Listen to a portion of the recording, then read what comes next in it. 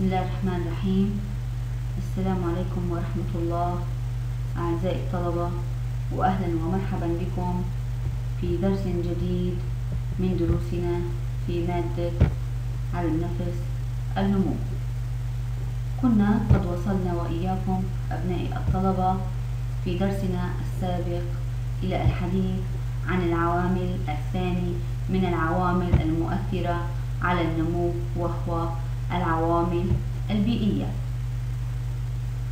وقد كنا قد وصلنا إلى تعريف البيئة بأنها العوامل التي تؤثر على الكائن البشري منذ تكوينه في الرحم. وقلنا بأن البيئة يمكن أن تنقسم إلى بيئات جزئية منها المادية والجغرافية والاجتماعية والثقافية والدينية. وقد وصلنا في الحديث عن العوامل البيئية وهذا ما سوف نتحدث عنه في هذا الدرس إلى المؤثرات البيئية على النمو الجسمي والصحي للفرد.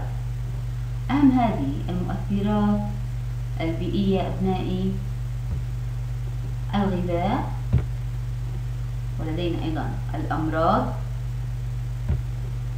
جيم الحوادث دال التلوث عين أعمار الوالدين ط الانفعالات زي الولادة المبكرة. سنحاول في هذا الدرس أبنائي وإياكم الحديث عن هذه المؤثرات البيئية بالتفصيل. نتناول بداية الحديث عن الغذاء ما هو الغذاء؟ تعريفا الغذاء بكل أنواعه هو أصل المواد التي يحتاجها الجسم حتى ينمو ويستمر بقاء الكائن حيا فالغذاء هو الذي يزود الجسم بالطاقة التي تمكنه من الحركة والسلوك الحسي والفيزيولوجي والعقلي. آه، كما أن الغذاء آه، يساعد على تجدد الخلايا وتكاثرها وهذا يؤدي بدوره إلى نمو الجسم وأجهزته المختلفة التي تعتمد على العناصر الغذائية. وكذلك النمو الوظيفي كالسمع والبصر والكلام والتفكير كلها مصدرها الأعضاء التي لا تنمو ولا تؤدي وظائفها إلا بالغذاء. فبدون الغذاء لا نمو ولا حياة. بالإضافة إلى ذلك أبنائي فإنه آه، تختلف متطلبات الجسم من العناصر الغذائية أي أن الجسم يحتاج إلى عناصر غذائية متعددة. فمثلا الطاقة مصدرها الكربوهيدرات. هذه تتوفر في مواد غذائية أكثر من غيرها. من أهم المواد الغذائية التي تتوفر فيها الكربوهيدرات التي تمدنا بالطاقة هي النشويات والسكريات والدهنيات. بينما يحتاج تجدد الخلايا ونمو أنسجة الجسم إلى المواد البروتينية. وهذه المواد البروتينية تتركز بشكل خاص في اللحوم والبقوليات كما أن الجسم يحتاج إلى المركبات الكيميائية والأملاح ومعادن وفيتامينات وهذه أيضا موجودة بشكل خاص في الفواكه والمواد الخضراء غنية بها أيضا. إلا أن جميع المواد الغذائية تحتوي على قليل أو كثير مما يحتاجه الجسم حتى ينمو. والغذاء الصحي المتكامل هو ذلك الغذاء المتنوع الذي يشمل حاجات الجسم المختلفة إلا أن أمراض سوء التغذية تؤثر أبنائي سلبا على النمو. سواء كان ذلك بتأخره أو انحرافه عن المسار الطبيعي أو حتى ضعف مقاومة الجسم لأمراض أخرى. وهي ناتجة أساسا إما عن نقص الغذاء أو عدم توازنه على أن الإفراط في الغذاء له نتائج سلبية لا تقل عن نقصه. ومن أهم الأمراض التي يمكن أن تنتج عن الإفراط في الغذاء هي أمراض التخمة السكري آه، السمنة وبعض أمراض القلب. هذا فيما يتعلق بالغذاء. أما المؤثر البيئي الثاني فهو الأمراض. الأمراض أبنائي تؤثر بشكل عام في عرقلة مسيرة النمو وانحرافها وخاصة آه، الأمراض المزمنة والتي يمكن أن تعتبر عاهات مستديمة حيث تؤدي إلى ضعف ونشاط آه، ضعف نشاط وحيوية الجسم ويمكن أن تؤدي إلى الموت المبكر. وقد تصيب الأمراض الأم الحامل فيؤثر ذلك على الجنين. من أهم الأمراض التي يمكن أن تصيب الأم الحامل وتؤثر على جنينها هي أمراض الدرن والزهري والحصبة الألمانية. المؤثر البيئي الثالث أبنائي الذي يؤثر على النمو الجسمي والصحي للفرد هو الحوادث. الحوادث طبعا بأنواعها وعلى اختلاف أشكالها. فقد تندهشون من معدل الإحصائيات التي توثق الإصابات الناتجة عن الحوادث المختلفة سواء كانت هذه الحوادث بين الأطفال أو الراشدين. من أمثلة هذه الحوادث الحريق السقوط التسمم الاختناق الغرق كلها أنواع من الحوادث أدت إلى وفاة الكثير من الأطفال والكبار على حد سواء بالإضافة إلى حوادث المرور التي تأخذ كل ساعة من الأرواح والأموال والإصابات المسببة لعاهات مستديمة تعيق حياة ونمو الأفراد. فهنا صورة ليد طفل فقد بعض أصابع يده نتيجة إصابة بأداة حادة أو شيء ما. هنا طفل قد يصاب بتسمم نتيجة عبثه وتناوله لبعض الأدوية. أما هنا طفل أصيب بحروق طفيفة. المؤثر البيئي التالي الذي سننتقل إليه هو التلوث. طبعا أيضا التلوث يمكن أن يؤثر على النمو بكافة أشكاله ويؤثر على الصحة بشكل عام. التلوث يمكن أن يصيب الماء الهواء الغذاء سواء كان بالإشعاع أو بمواد دخيلة تؤدي إلى تسممات وأمراض قد يجهل الطب مصدرها وذلك لجهله بالمادة المسببة للمرض أو التسمم. مثال ذلك الكيماويات التي ترش بها الخضروات والفواكه آه، أو ما يسمى بالأغذية المهجنة.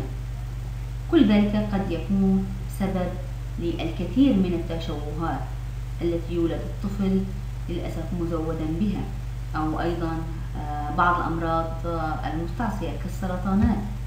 مما يعرقل النمو ويحيد به عن مساره الطبيعي.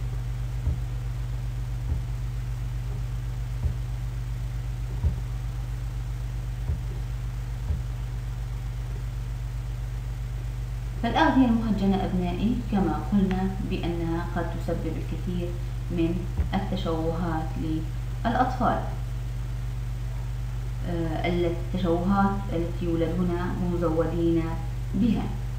هذا الأمر يتطلب من المجتمع بأسره تجديد الرقابة على أنواع الأغذية سواء كانت مستوردة أو منتجة محليا لكي لا تصبح مصدرا هداما لصحة المجتمع أو لصحة أفراد المجتمع بدلا من أن تكون مصدر نموهم وحياتهم.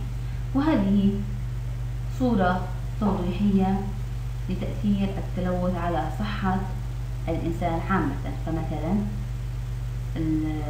تلوث الهواء يؤثر على آه، الجينات يؤدي إلى آه، عندما يؤثر على الجينات يؤدي إلى تلف الأعصاب هذا يؤدي إلى صداع وإجهاد تلوث المياه آه، أمراض تنفسية أمراض قلب إلى آخره. أما المؤثر البيئي التالي فهو أعمار الوالدين. كيف تؤثر أعمار الوالدين على النمو يعتبر أبنائي العمر المناسب للولادة بين العشرين والخامسة والثلاثين لماذا؟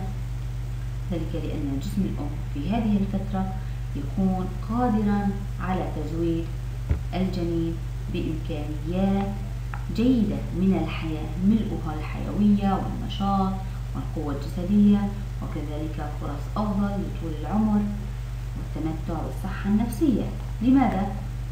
التمتع هنا بالصحة النفسية ذلك لأن الأبوين في هذه المرحلة العمرية يكونان قادران على إعطاء الوقت والجهد الكافي لتربية وتنشئة ورعاية أطفالهم خاصة خلال مراحل العمر الأولى. أكثر من أولئك الذين تجاوزوا هذه السن أو آه، لا زالوا يافعين ومراهقين. قبل العشرينات من العمر. فبجانب الصحة والسلامة والقوة الجسدية التي يتمتع بها الشباب والراشدون قبل الأربعينات حيث تتوفر في هذا العمر مقومات النضج الاجتماعي وكذلك صبر ومثابرة وتحمل مسؤولية وغيرها من الصفات الانفعالية والمزاجية الضرورية لتحمل وزر تربية وتنشئة الأطفال. طبعا هذه الصفات آه، لا تتوفر في المرحلة العمرية قبل العشرينات وتضعف بعد سن الأربعينات لذا آه، بالرغم من ذلك يا أبنائي لا ينبغي طبقا لذلك اقتصار الإنجاب على هذه المرحلة العمرية آه لماذا؟ لأن هناك آه بعض النساء التي ينجبن أطفال أصحاء وأسوياء وهنا في في أواخر سن الأربعينات. إلا أن كثير ما تشير الدراسات إلى أن بعض حالات الضعف العقلي راجعة إلى الحمل في سن متقدمة أي ما بعد الأربعينات. أي أن الإنجاب بعد سن الأربعينات تكون هناك نسبة كبيرة من الأطفال يكونون مصابين بحالات الضعف العقلي ولكنها ليست قاعدة عامة فهناك كثير من النساء ينجبن أطفال أسوياء كما قد ذكرنا. المؤثر البيئي التالي هو الانفعالات وكيف يمكن أن يؤثر على النمو الجسمي والصحي للفرد. من أهم هذه الانفعالات أبنائي الخوف الغضب التوتر العصبي وخاصة إذا كانت هذه الانفعالات شديدة فكثيرا ما تؤدي إلى اضطرابات فيزيولوجية وبالتالي خلخلة في إفرازات الغدد الصماء والقنوية. هذا الأمر يمكن أن يلحق أضرارا بالغة بنمو الجنين. العامل البيئي أو المؤثر البيئي الأخير هو الولادة المبكرة. ما أسباب الولادة المبكرة أو السابقة لأوانها؟ إن الولادة المبكرة قد تنتج عن انفعالات حادة أو أمراض أو نقص تغذية أو ظروف غير طبيعية أخرى تؤدي إلى ولادة الجنين قبل استكمال نموه. هذا الأمر يمكن أن يعرض الجنين إلى عدم القدرة على التكيف مع البيئة الخارجية ويجعله أيضا عرضة للإصابة بالأمراض.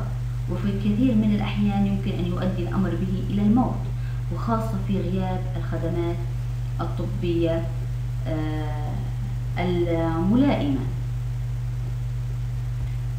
هذه هي أهم العوامل أو المؤثرات البيئية التي يمكن أن تؤثر على النمو الصحي والجسمي للفرد وبها ننهي أبنائي درسنا لهذا اليوم. أتمنى لكم كل الفائدة وإلى اللقاء إن شاء الله في درس قادم.